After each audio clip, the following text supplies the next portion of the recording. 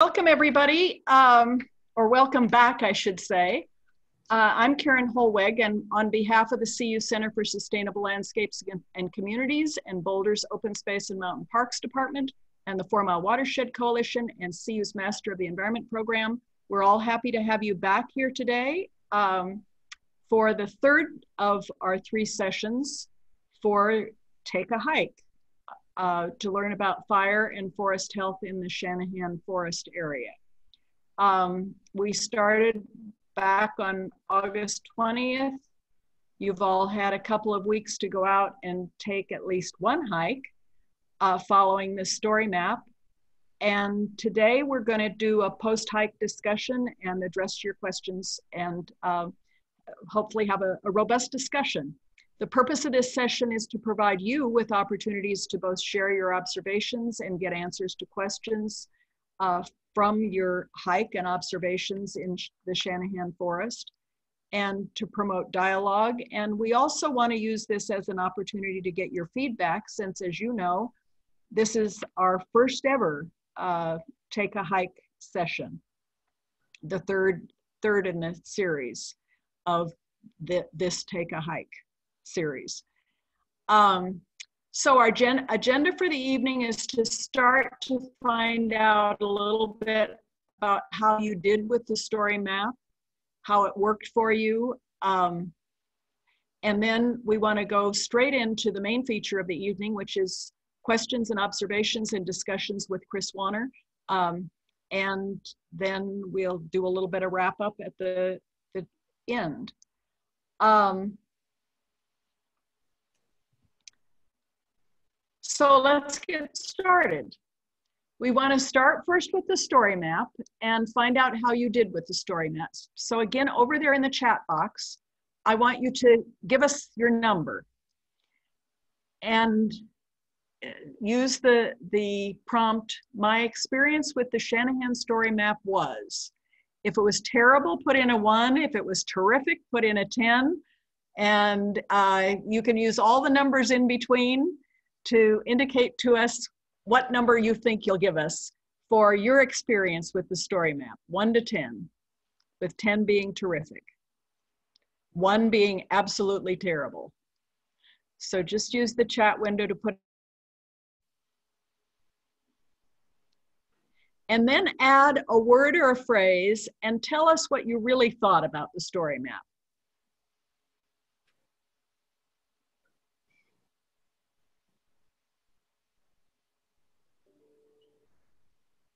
We haven't heard of anybody who had technical difficulties, but if you had technical problems while you were using the story map, if you would put in your email address, then we would try to uh, get back to you and find out uh, what your problems were, and that would help us to enhance our use of, of the story map technology.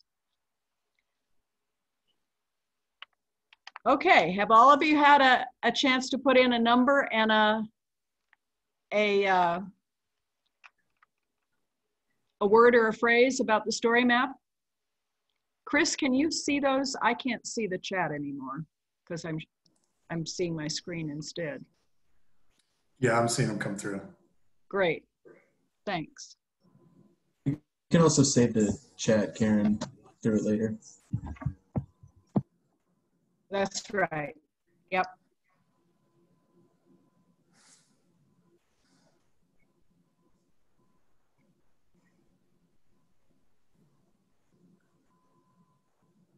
Does it look like all the, the numbers and phrases are in there? Chris, have we gotten about a dozen or more? Yeah, I think so. I can I can try to give a quick recap if if you want me to try to yeah, do that. Tell, tell us what you see in numbers wise. How do we do? Um, I'd say we're probably averaging a 7.5 or 8. Great.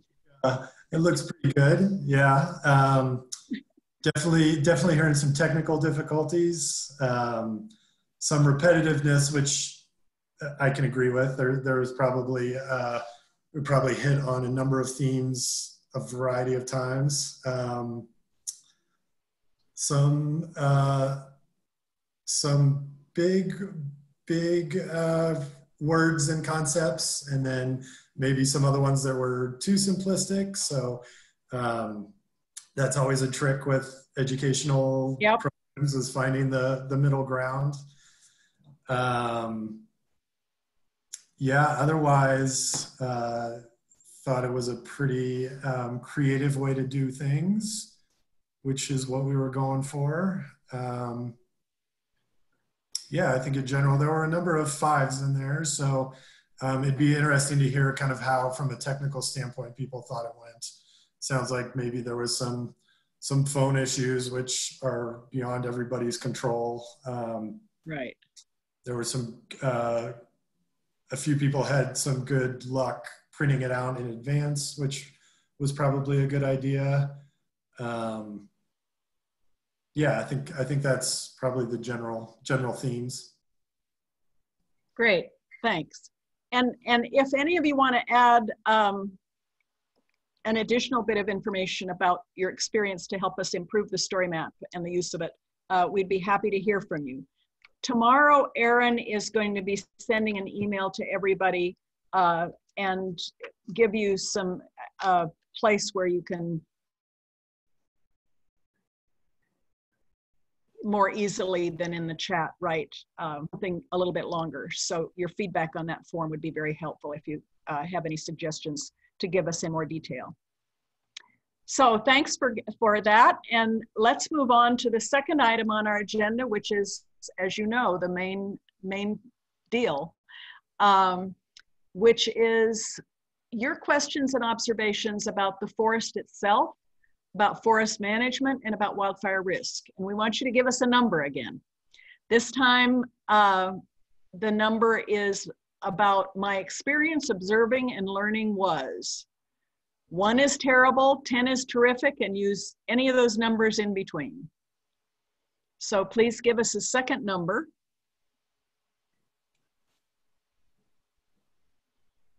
And then if you haven't already uploaded questions and photographs, which several of you have, um, and want to ask a question, you're welcome to type a question into the chat window as well, or an observation, or something that you wondered about.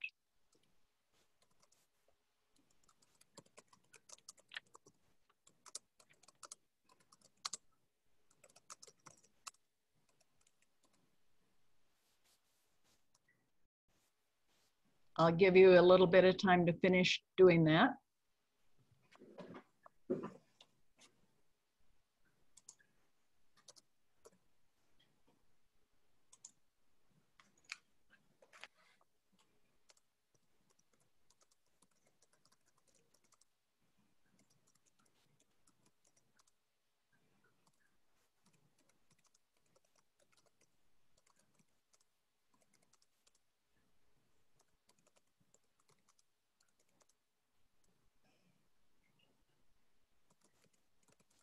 It looks like a couple of more people have joined. Uh, so if you've just joined, um, in the chat window, we're asking people to give us a number that describes your experience observing and learning as, as you hiked in the Shanahan Ponderosa Forest. One is terrible, 10 is terrific, and you can give us any number in between there.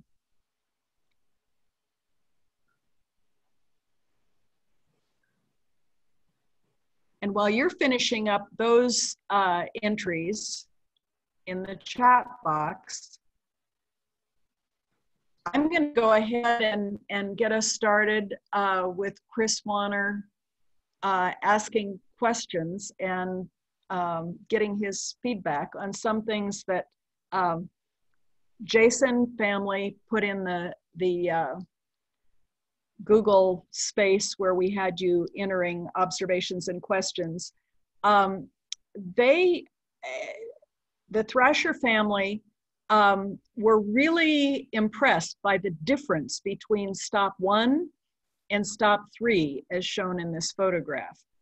And uh, one question um, that someone else asked was, are there some species that depend on this type of forest that's in stop three, the more dense um,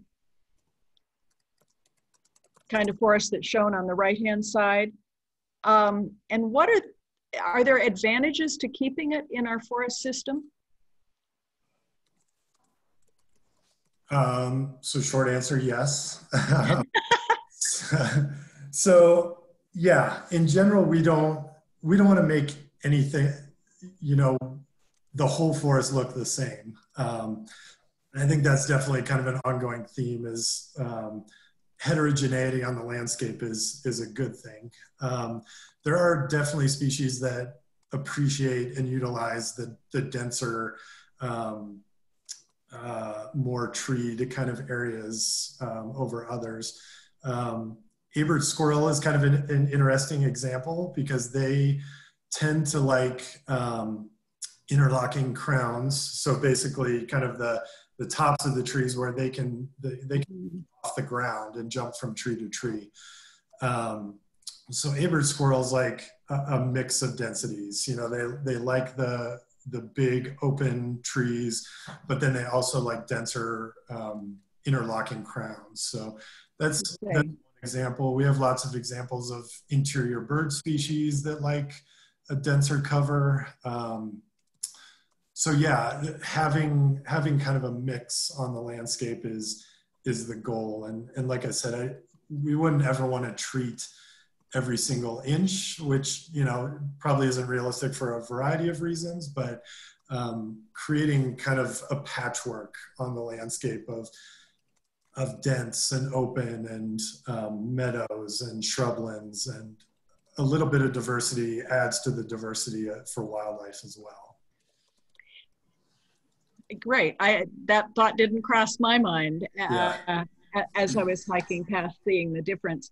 Uh, the Thrasher family noted the tremendous number of cones in that denser area, and um, as well as the high density and the number of down limbs in that forest. Uh, what I'm wondering is when a fire goes through that forest, uh, based on my experience with cones in campfires, is is the fire hotter in the, the kind of forest that was at, at stop three? Um, it certainly can be. Um, you know, one of the big things that we measure for fire and fire planning is the fuel load. So, and, and the fuels are broken down basically by diameter. So you have one hour, 10 hour, 100 hour, 1000 hour fuels. Um, and those will influence and impact how, how a fire burns. So, um, like the picture on the left, where basically it would be burning through a whole lot of real fine fuels, the one hour fuels. Um, gra- In the grasses. Yeah, grasses and needles. It would move through there really quickly. Whereas um, this may be not the, the perfect example, but something like on the right where you have a fair amount of down material, you have um, down logs, down limbs, a lot more of those heavy fuels. Um, you'll get a, a hotter fire, um, and then you'll also get higher residence time. So basically, the fire will sit in an area for a longer duration, which means you know you have uh, intense impact on the soils, which can have long long-term impacts. Um, impacts to you know the the seed bed that might be in there, the just the the um, physical characteristics of the soils, um, a variety of things that can come along with just having a much hotter and longer duration burn in those areas. Interesting, great. Um, I don't see any other, well, there was one other question that the Thrasher family had. Uh, I'm going to stop sharing this photo because it doesn't have anything to do with it. Well, while I ask the Thrashers other question, um, Nate, why don't you go to the uh, the photographs and questions that people have posted? Um, okay, so in our response sheet. Uh, in the Google, wherever it is. Yeah. There's a couple uh, here in the chat too that I can get that, to and we're ready. Okay. Um, are there some that go along with what you were just talking about?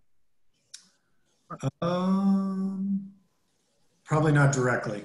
We'll, we'll get there. Okay, let me let me continue then with the Thrasher's other question, which had to do with places where they could see more obvious blackening and evidence of fire itself, where you've probably where you've done prescribed burns more recently?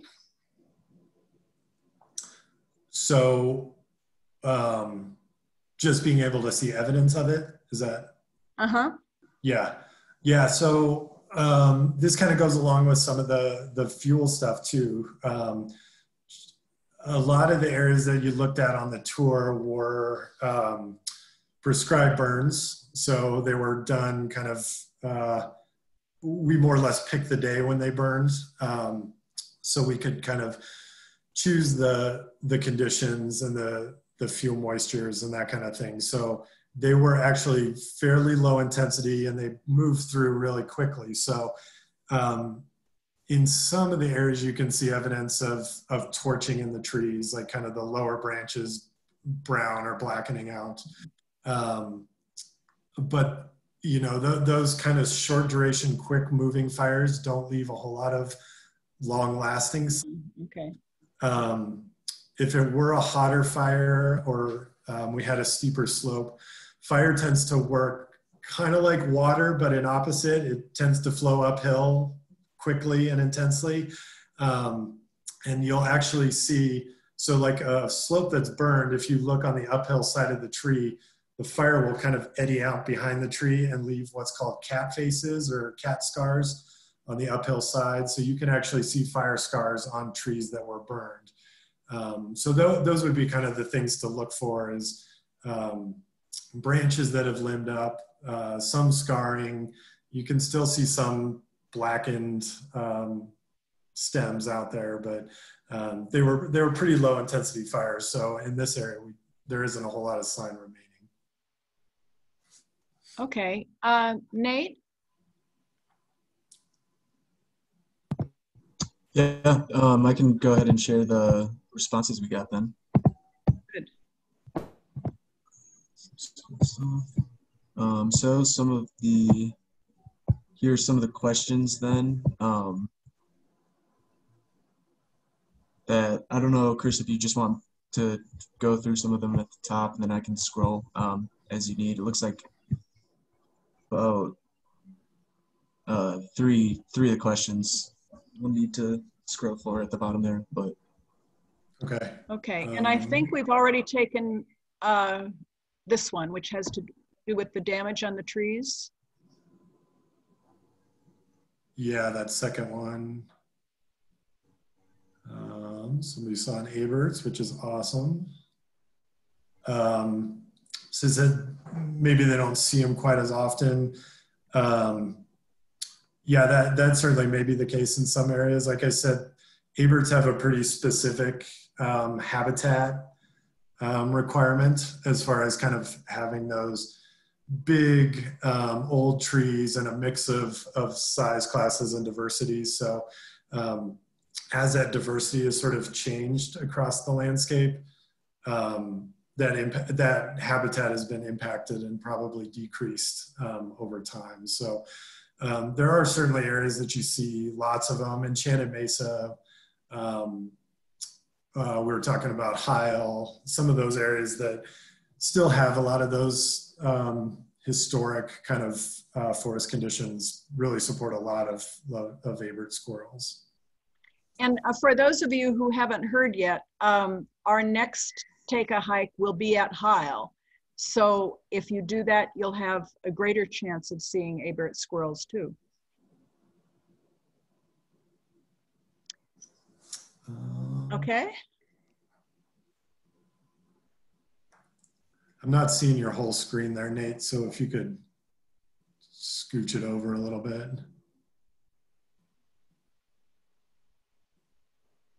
uh, so which part, I'm just not which part's the- obstructed? the left hand side of it.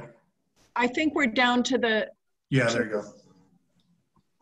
go. Okay, cool. I think, yeah, there might have just been a little delay. It should be all of the, the last three questions now. Hopefully. Uh, the next question is, wh- what is, what is the blight that's on the willow on the north facing meadow after the Douglas fir forest? This meadow is full of bee balm in the summer, if that helps identify it. and the meadow is just above the little creek drainage before you go up to the North Shanahan Trail. Yeah, I can I can picture the meadow, um, but I'm not sure what the blight is. Sorry, I might have to get out and check that one.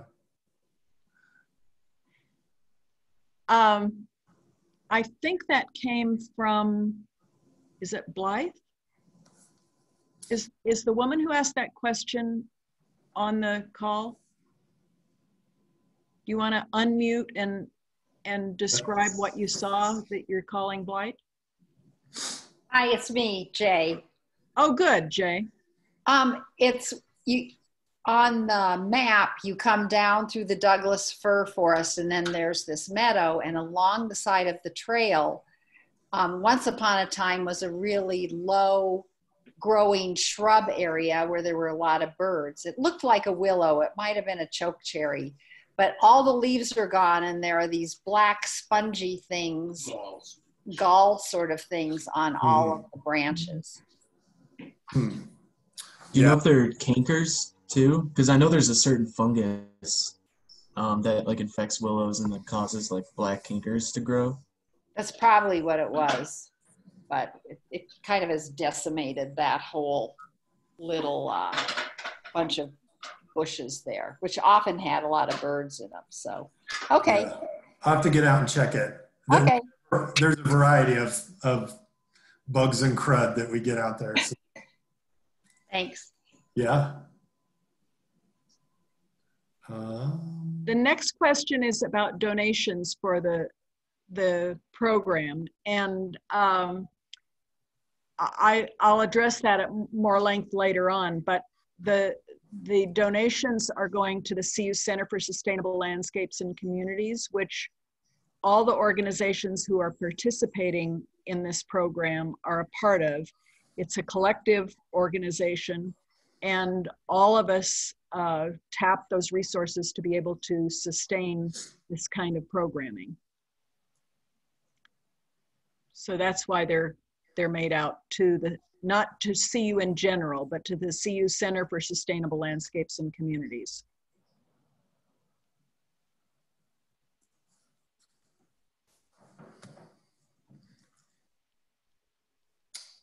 um, so The the next next, one, yeah. next So- item is interesting. Go ahead, Chris. Yeah, so just humbled by the amount of work required to maintain healthy forests. Um, yeah, it, it's it's definitely an undertaking. Um, I, I think one of the, the key messages too is that it, um, you know, it's it's never done. You know, you, you, they, the trees keep growing, and you get more trees every every couple of years. So um, you know, once you've sort of restored an area, there's that ongoing maintenance that's going to take, you know, in, into perpetuity. Um, and a lot of that is the fact that, you know, these, these forests are fire adapted and would historically have been maintained by regular intervals of fire.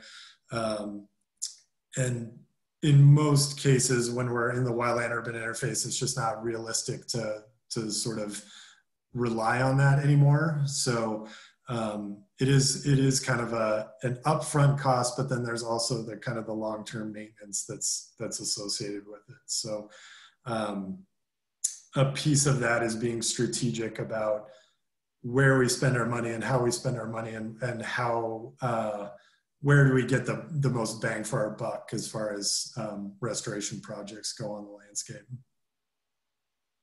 There's another question in the chat that uh, somewhat goes along with that. So let me ask that next, Chris. Yeah. Um, it's a request to have you talk a little bit about the post prescribed fire assessment of the effectiveness of the results of the prescribed fire. Um, what do you do in terms of looking at the burn after it's happened? And what kind of ongoing monitor do you look for uh, to see what's happening post fire? Yeah, uh, that's a great question. I, we have a variety of, of kind of ongoing monitoring um, projects, and I think you saw some of the results in the in the walking tour. There was a stop, I think it was maybe three or four that talk sort of about the the impacts of of management on birds and understory vegetation and, and some of that stuff. Um, we have a variety of, of plant monitoring that goes on out there, um, both kind of in treatments and in control areas to measure um, what is the vegetation response. In the in the last one, we talked about what what is understory and what does that look like. So we have understory monitoring to to chart kind of over time how our our management is is impacting um, the vegetation response. Um, we have similar monitoring as far as um, uh, native birds um, composition and, and density use. Um, we have bat monitors in a lot of our treatment areas that measure kind of bat response pre and post um, thinning and burning. Um, trying to think of what else. Um, those are some of the the big ones, but it, it it's definitely been that's kind of one of the keys to our forest ecosystem management plan is is what's called adaptive management. So, you know, putting something out there and doing the management and then tracking the impacts that we're having over time and are we are we meeting the goals and and the objectives that we originally laid out with with our management and um, having the the positive uh, impacts that that we want to see as we go. And and maybe we're we're finding out that we're not quite there yet. You know uh, in the comments a couple of people said they didn't they didn't notice a difference between the the thinned and unthinned areas. So you know, maybe if, if that's showing up in our monitoring that we're not having impacts on the understory or impacts, positive impacts on the wildlife, that those may be areas that we go back to and and reassess or, or remeasure or, or even remanage as as time goes on. And how frequently do you have to go back to an area that's had a prescribed burn typically? Um, we're on kind of a eight to 10 year cycle in these lower montane areas. So, um, like I said, the, the trees keep growing and, and depending on how productive a site is, um, it may take more, more frequent returns to kind of maintain those open conditions. It may take less frequent ones and, and it kind of depends on the objectives for, for each area.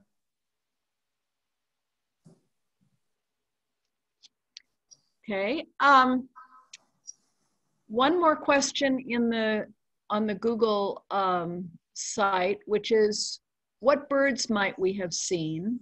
It was hard to see them in the late afternoon light. And I would say that some of them were so tiny and flitting around so busily, it was hard to see them. Yeah.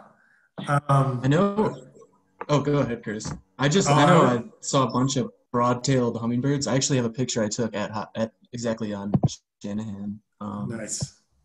Yeah, there's there's a variety, and I'm I'm definitely not the uh, the bird guy to, to, to list them off, but um, maybe a, good follow up is is we could provide a list of of um, ponderosa pine specific birds to look for the next time the nut hatches and um, some of those things that might be might be consistent for for the birders out there. There were some woodpeckers up there. Yeah, today. woodpeckers for sure. They they were busy, and they tend to be really busy right after the burns, um, yeah. just because of the insect activity that that follows. Um, I'm trying to pull up pictures. Yeah. I was going to scroll back to, um, there were a couple of questions. Um, so on stop five, the north facing slope on the Mesa Trail, the, the pine forest seems really dense. What are the plans for the management of this area? Um, that's a good question. And that, that gets to a lot of the, the diversity that's out there. Um, as you, you sort of worked your way through one of the points that was in the um, the virtual tour was the fact that kind of north facing slopes act differently than south facing slopes um, and and that that kind of applies in a variety of things both from the vegetation that you would expect to find you know it, it shifted from the south facing drier slope that was all dominated by ponderosa pine to a north facing slope that was dominated by kind of a mix of ponderosa and Douglas fir. Um, that shift is is really lent to the fact that you have a much higher um, it, it's just wetter on the north facing slope. It, it, holds snow for longer. It's it's shadier. It, it it's wetter. So um, historically those north facing slopes actually would have burned less frequently than some of those um, more open areas. So you would would have had kind of this this patchwork of open forests versus more dense forests. Um, and once again that that sort of lends itself to more diversity from a, a vegetation standpoint as well as a wildlife standpoint you've got a whole variety of of um, habitat types depending on what slope you're on. So um, in, in, most cases, you know, it gets back to that landscape context, but in, in a lot of cases on the north facing slopes, we don't do a whole lot of management just because they would have historically been denser.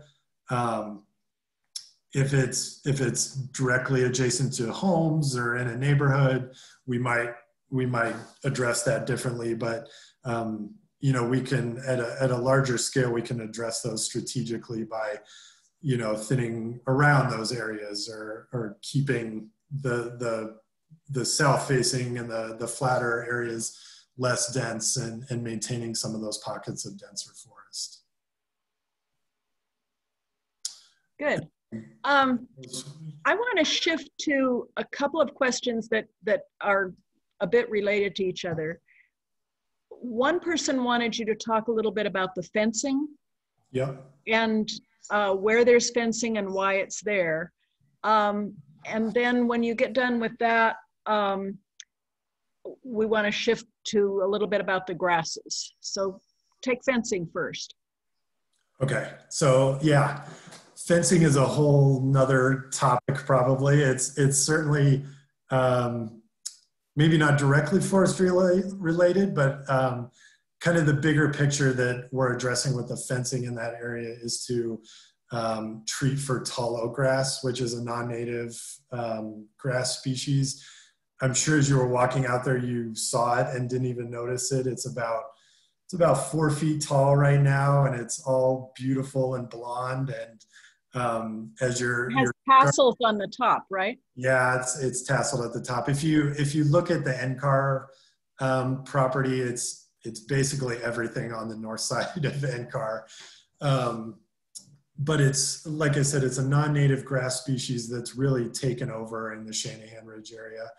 Um, and one of the one of the management techniques that we found that's the most effective for tall oat grass is grazing. Um, it's probably there because we've taken grazing out of the system and it's it's gotten so well established. Um, kind of maybe to bring it back to what we're talking about, um, you know, as you look at it and you look at that four feet of grass and it's it's fairly short lived, but it it creates a real dense um, layer of duff on the ground. So it, it, it, can have a huge impact on, on the fuel load and the amount of, of fuel that's out there. So um, the fencing is designed to use uh, grazing to address um, the tall oat grass and the, the highest densities of tall oat grass that we have out there. So, um, so the fencing's for the cow, right? The fence is to keep the cows in. Um, and it's actually a very short duration graze that we're, we're planning. Um, we've done, I don't, I don't know if folks have, have uh, walked up. It's the um, Sound of Music Trail. It's, it's basically just to the, to the south of NCAR, but it, it's an area that we've been grazing for uh, eight to 10 years over the, the past um, couple of years. And, and it's basically been kind of a proof of concept. We've put cows in there for, like I said, a short duration, two to two to four weeks in the spring, and they really hammer the tall oat grass, and it gives the native species um, the opportunity to kind of gain a foothold and and hopefully replace the tall oat grass over time. So that's that's the purpose of the the infrastructure and the the development of the fencing in that area. Thanks. It will have direct impacts on on fuel loads, but it's uh, it's it's a bigger picture kind of uh, forest health issue. Great. And then uh, the next question has to do with the the tall grasses, uh, for instance, in the Shanahan Ranch area, which is just adjacent to this, Mhm. to the east of the uh, trail that we all entered on. Um, and the question is, is there a is there a fire mitigation plan for the tall grasses in that area? Um, not Or, or for the tall grasses anywhere in the, Yeah, area yeah. Gra- grasses are are definitely a trick because you you can't really go out in thin grasses. You know, it it, it sort of is what it is. So um, a lot of the the treatment, as far as from a kind of a fire standpoint, would be kind of an immediate reaction in those areas.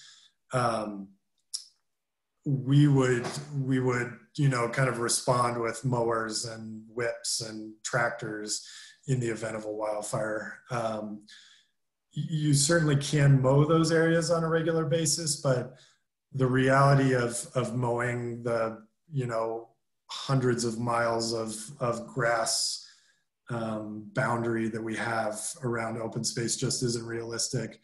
Um, and and from a management standpoint, you if you regularly mow those areas, it can give the non-native species kind of a foothold and an, an advantage, and they can move in and take over. And then you've got both a fire issue and a weed issue. So we try to avoid doing a whole lot of mowing, um, just because it's it's sort of a temporary fix and it's it's got more um, negative impacts than it can have positive impacts. so how do you know where the fire is going to burn? Do you use computer models? Look at the conditions? Use previous experience? How do you, what do you do and how do you tell when you're planning a fire where the fire is going to burn? Uh, yes, to all of those.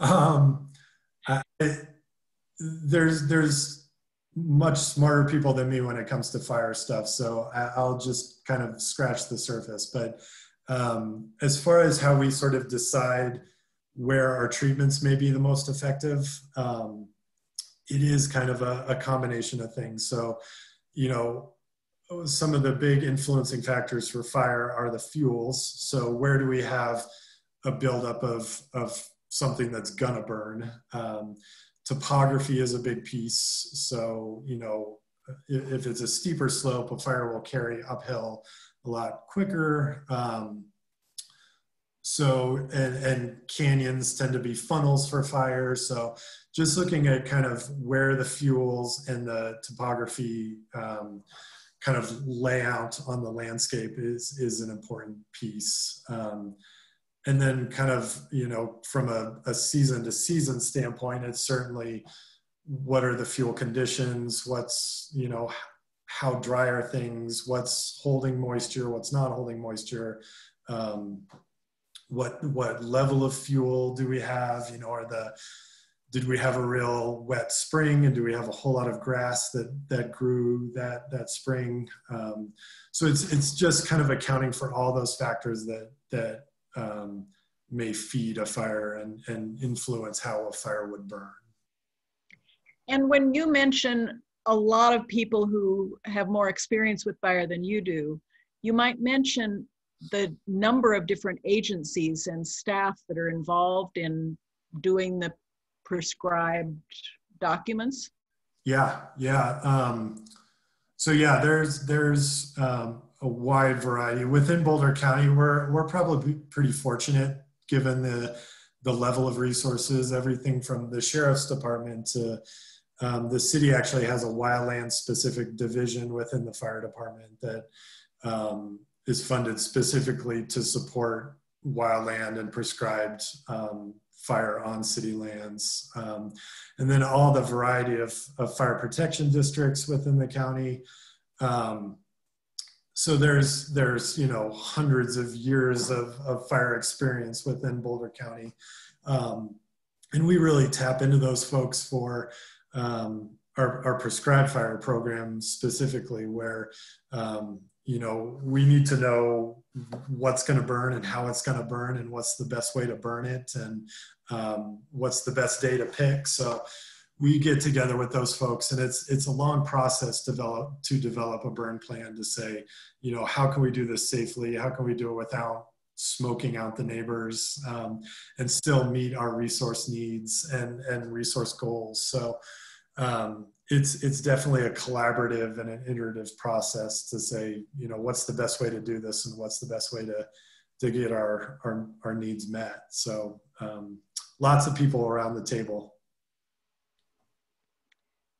um, now we have a, a question from somebody who wants you to step back and take a look at the system and mm-hmm. say, what have we seen so far as results as from the efforts to have prescribed fire and thinning? And can you give any examples to us of, of results based on your decades of work on this? Right.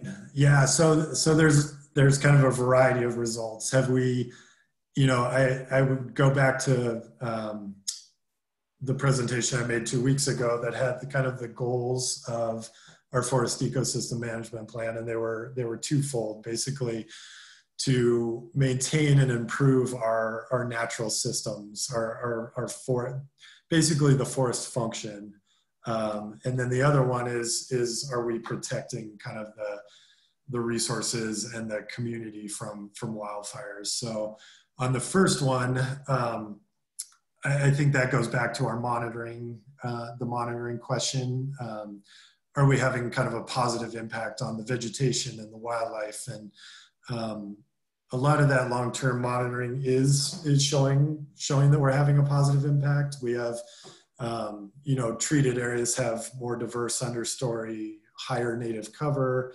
um, higher native bird use and, and bird diversity. So, um, you know, as far as those kind of uh, forest functions go, um, I think we're, we're having a positive impact. From a fire standpoint, um, maybe thankfully we don't have a ton of examples to, to point to. Um, you know, we, we've certainly had fires in the in the backdrop and um, within the wildland urban interface. The one of the most recent ones was the Sunshine Canyon fire. Um, that was in, I want to say 2017, um, and that was certainly a, a positive story that um, an area that we we did some thinning um, just to the east of the Centennial Trailhead. If everybody's familiar with that area, um, we worked with the fire department um, to do some thinning on that hogback that's basically between the Knollwood, um, the Knollwood community or neighborhood or whatever it is up there and the wild, the, the open space. Um, and that was a fire that, you know, was, was a late night start, moved really quickly, was moving east toward town and the, the thin area provided an opportunity for firefighters to get in there and, and create a buffer um, and really an area where the, the fire laid down and they were able to, to control it um, before it moved east into town. So that was maybe one example of, of kind of um, an area where we had a, a very obvious um, response. I think um, like I said, there's probably other ones across the county that that um, Stefan can speak to, maybe in in future presentations at Highland Hall. Um, well, and that's one of the purposes for this the thinning and prescribed burns in the Shanahan area, right? To have right area where there's a defensible space. Yeah, yeah, and that's you know that's certainly what we're going for. It hasn't it hasn't been tested yet, and hopefully it's it's never tested. But um, you know, during the the Flagstaff fire, it was I was standing down at the, at the Cragmoor access, and the plan was if it if it crested the the peak of of South Boulder and Bear Peak, that um, we had talked about burning burning off of the the line that was right there behind the Cragmoor houses. So, um, you know, you can you can kind of imagine what that what that could potentially look like. But you know, knowing that we had areas on the landscape that had been burned and that had been treated, um, we felt pretty confident that you know it would um, it would meet some of those objectives of of at least slowing it down. Good. Thanks. Um, Vic has some questions, and maybe Nate, if you could put up the uh, story map so we can get a zero in on the stops that he's talking about. Um, Vic says at at stop two, I noticed some small ponderosas that had been left near the fence. Were they left on purpose? Let's see. So, yep. So stop two is right. Yeah. Um, I, I don't think I I specifically left those trees or we left those trees. Um, like they don't have names or anything. Um, but um, that, that certainly adds to the kind of the diversity. I think um, one of the things we talked about at the la- last presentation was the kind of the goal of having a mix of size classes. You know, you don't want to you don't want to cut all the little trees, and you don't want to just have big trees. Um, you want to have a diversity so so those little trees can develop and sustain the forest into the future. So um, that was that was probably what was going on there. Was um, you know the prescription will basically say, you know, leave 10% of the small trees or 20% and um, where those happen on the landscape are sort of that's where kind of the art of it comes into into play. You know you might have a patch of a hundred little trees and you might leave 10 of them. Um, so there there there probably wasn't a, a, specific reason that those trees were left other than you know kind of to to leave a diversity of of um, structure in the area. And how do you how do you enable some to survive and some not to survive when you do a prescribed burn? Um, that's a little trickier. So you know, if we if we know we're gonna leave, if we if we know we're gonna burn an area, um, we might leave a little bit higher proportion of them. Um, uh, when you're thinning before the burn. Yeah, right, right. So to leave uh, lead up to that, you might have a higher proportion, knowing that you're going to have lose some yeah in an area so um, yeah once again you, you know it, it it's kind of a a shot in the dark as far as what you're going to get as uh, with the conditions but um, you know if we've planned it right and we have the the right conditions the day of the burn then then we can pretty well expect um, what we're going to see as far as mortality in the trees. Good. Uh, and the last question uh, that we have here uh, from Vic as well that you've touched on before about doing additional thinning and the desire to keep a mosaic with some areas that are not thinned and some that are. But mm -hmm. Vic specifically wanted to know at stop four um, whether you're planning to do more thinning in that area. Um, let's see for yeah we probably don't have immediate immediate plans for that area um, though that's probably one of those areas where we would kind of continue to monitor um, as far as kind of the the tree density um, and possibly get back to it kind of from a maintenance standpoint to maintain some of the um, a mix of, of open conditions um, there's definitely more work to be done in the Shanahan Ridge area. Where we'll probably be up there again this fall um, to do some areas along the North Fork of the Shanahan. Um, but yeah, like I like I said, it's it's never done, and we'll we'll probably be back to a number of these areas in the in the future. Okay, great, thanks. And Nate, if you could take that down. Um, Thank you.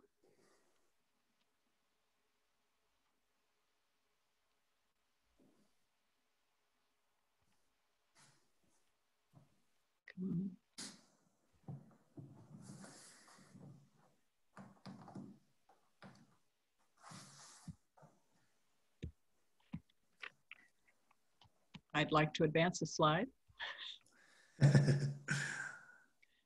it's not doing.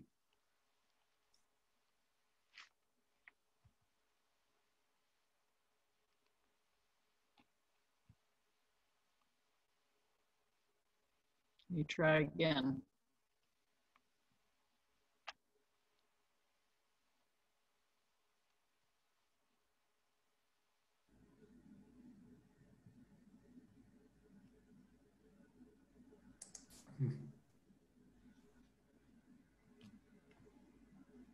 Oh, come on.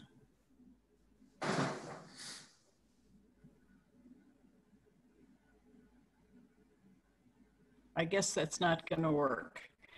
Um, what we'd like to ask you to all do is uh, go back into the chat window. Here we go. And um, give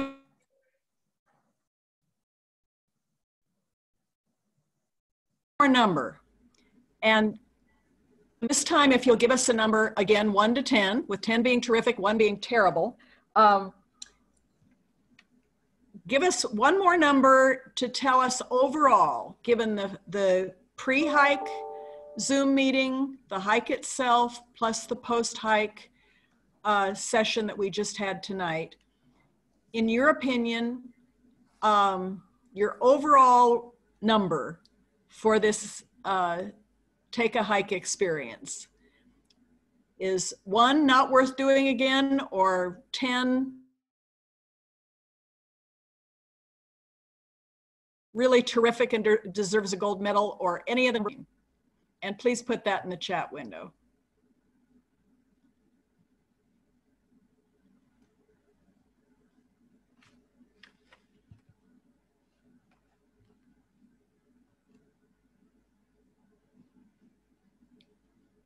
And while you're doing that, I'd like to uh, thank all my colleagues who worked on this. And this goes back to the fact that the Center, CU Center for Sustainable Landscapes and Communities is a group that's made up of, of all sorts of other groups.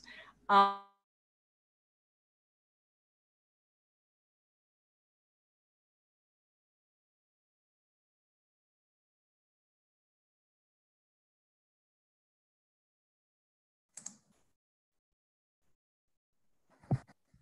Uh-oh, did we lose Karen? I think we might have lost Karen. Man. it's it includes like this and bring you more socially distanced experience during the pandemic and, and well beyond. Um, we have been asking for donations of any size, uh, whatever size is right for you to enable us to sustain that work. And then, as I mentioned before, later this month, we'll invite you to a take a hike uh, which the county parks and open space people will take the lead on. Uh, we'll go up to Heil Ranch, uh, which is the place where we mentioned there are more Abert squirrels and, and some different kinds of, of ponderosa fire uh, forest, and also some different kinds of forest management uh, that the county has been doing up there. So I'm sure you'll all find that interesting. We'll send you an email later this month to invite you to that and hope that you'll please join us again. So uh, thanks again for participating in this session this evening. And, um, and if I can get my screen to, there we go. Just stop sharing. we can get back to the squares. So thanks again for all of you participating tonight and uh, all your good questions. And, and thanks, Chris, again for, for all the answers and helping us learn more about the Ponderosa Forest and the management of it. Awesome.